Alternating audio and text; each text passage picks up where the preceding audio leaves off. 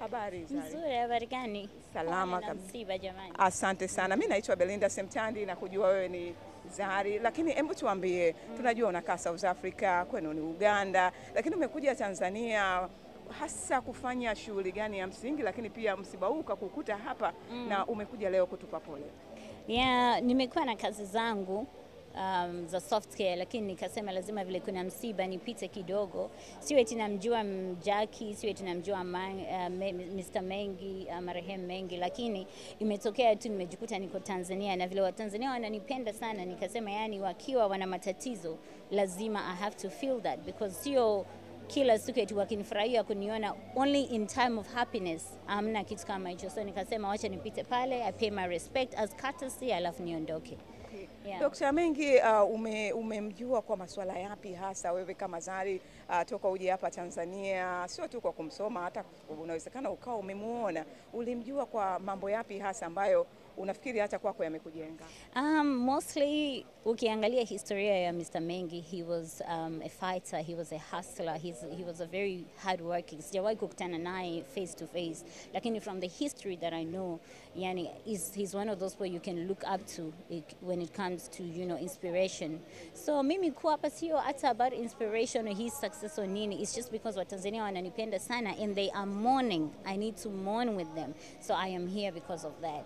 Yeah. N- n- Neno la mwisho kwa Watanzania na hasa vijana kat- katika kufuata hichi ulichokizungumza kwamba Dr. Reginald Mengi alikuwa ni fighter, yani mpiganaji um, na mpambanaji kwa kila mm. kitu, unawahusia nini Watanzania? Watanzania maisha ma, we, we can never get life on a silver plate never. Yani mtu kuwa na maisha mazuri, wengine things happen for them by chance, by luck, by blessings. Wengine lazima you need to fight and work hard. So people need to take a leaf from his life. His life has been a success. His life has been a life that uh, the young generation of today can look up to mpaka wakasema kama yeye alipitia hivi vi- vyote Shukuru sana, Asante. asante. Wasalimie watoto pia. Uh, mtazamaji uh, ITV Capital TV pamoja na East Africa Television, huyu ni Zarina Hassan au tunamkumbuka zaidi kwa jina moja tu la aka Zari the, the, the boss.